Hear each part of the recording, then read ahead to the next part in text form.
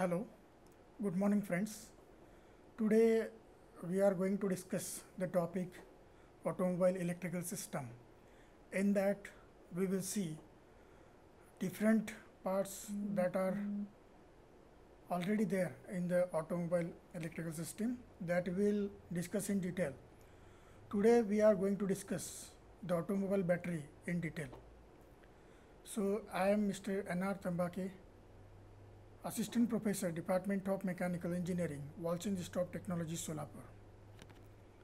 Learning outcome at the end of this session, students will be able to explain automotive battery for different applications of automobiles.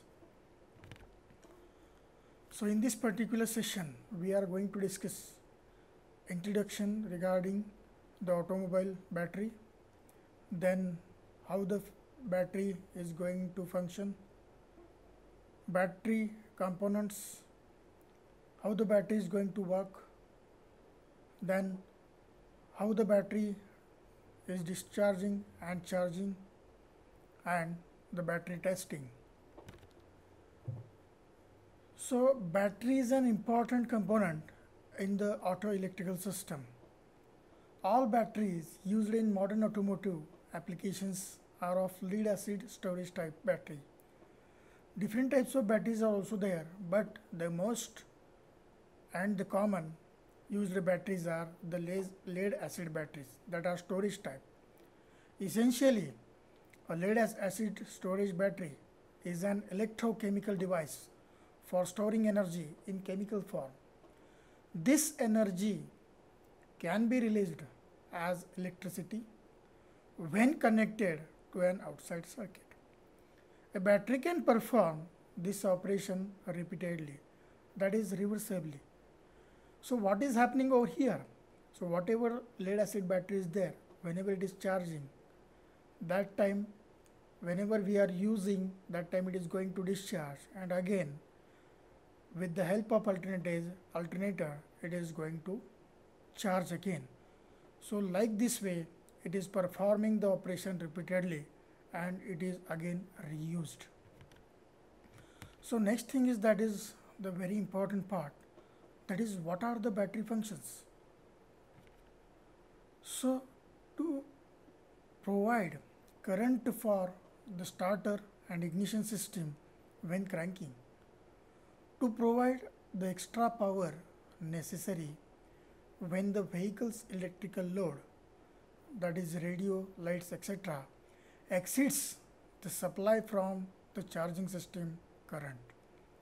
To act as a voltage stabilizer or reservoir in the electrical system so that evens out voltage spikes and prevents them from damaging other components in the electrical system.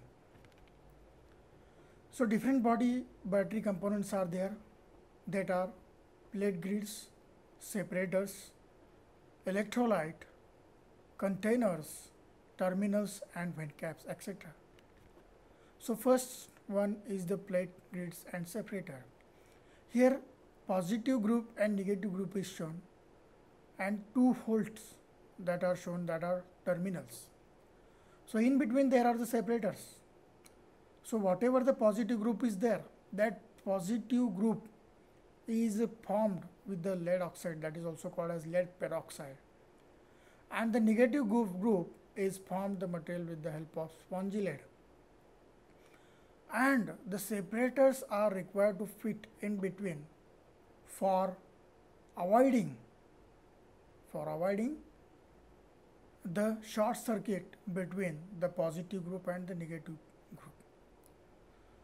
So in such a way that the battery grids and separators are fitted in the battery. Next thing is that is very important electrolyte. So mixture of sulfuric acid and water is there that is a electrolyte. So ordinarily the electrolyte is used in a fully charged battery contains about 25% sulfuric acid and 75% water the strength or percentage of the sulfuric acid in the solution is measured by its specific gravity that is the density of the electrolyte versus the density of pure water. The specific gravity or electrolyte strength of fully charged battery is in the range of 1.260 to 1.275. This means that its electrolyte is at least 1.260 times heavier than pure water. Please remember my friends. So containers, terminals and vent caps are there.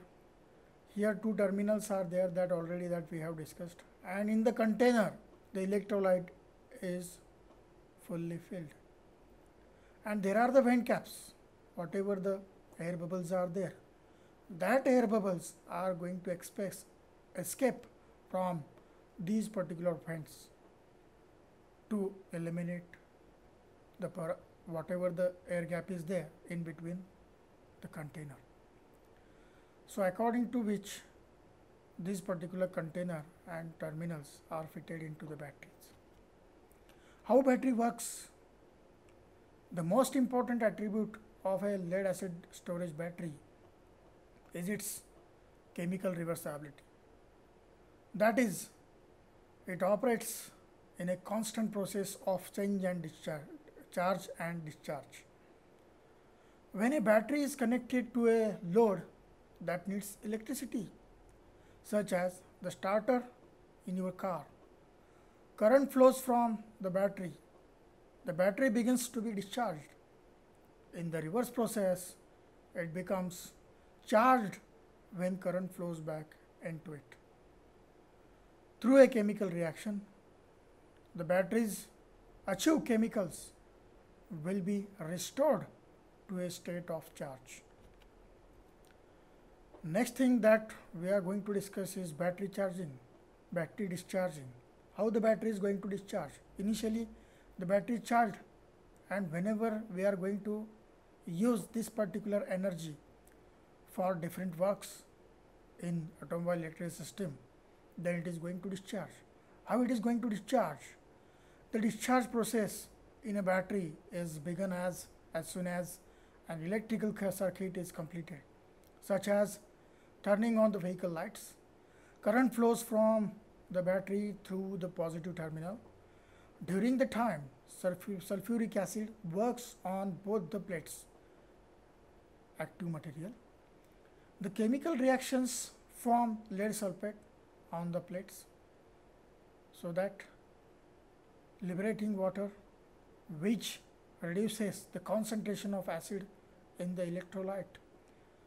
The amount of acid consumed by the plates is in direct proportion to the amount of energy removed. Next thing is that after discharging, how the battery is going to charge. To recharge the battery, it is the only necessary to reverse the flow of current provided by the alternator through the positive terminal and out the negative battery terminal. The separate the sulfate that formed on the plates during discharge is changed back to sponge lead and the sulfur returns to the electrolyte forming sulfuric acid again. At the positive plates, the lead sulfate changes to lead peroxide again and returns even more sulfuric acid to the electrolyte. In this way, the battery is going to charge with the help of alternator. Next in that, how to test the battery. So that is the very important task in this particular discussion.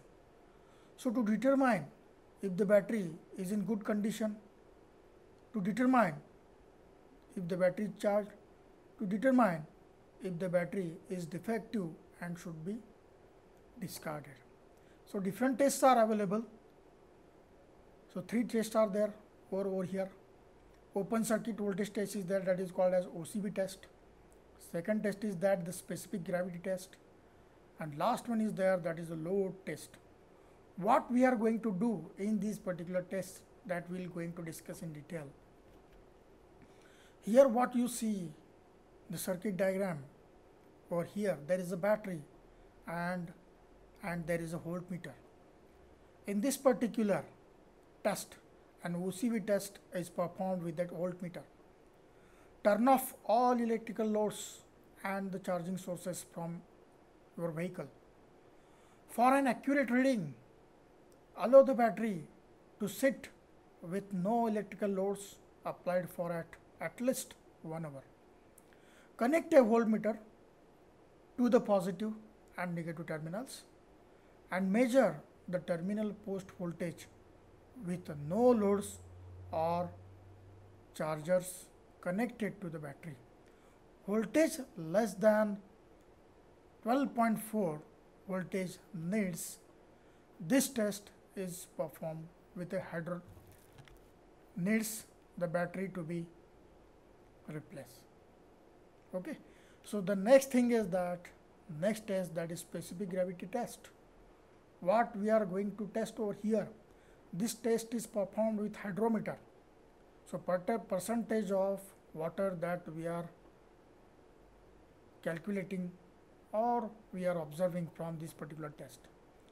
Draw electrolyte into the hydrometer a few times so that the float reaches the same temperature as the electrolyte. When you draw the electrolyte, make sure that the hydrometer is full. Check each individual battery cell. A reading of 1.265 or greater at 80 degree Fahrenheit indicates a full charge. 1.11 to 1.14 completely discharged. Okay, so in this way, the the specific gravity test is to be performed and the battery condition is to be noted. Last one is the load test. It measures the terminal voltage while discharging at a high rate. Load is applied using a test tester includes ammeter, voltmeter and a resistor. This test is a 15 second discharge of the battery at half cold cranking amp ampere level.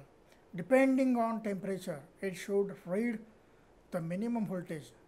For example, 9.6 at 21 degrees Celsius. Please make a correction over here that is 21 degrees Celsius my dear friends.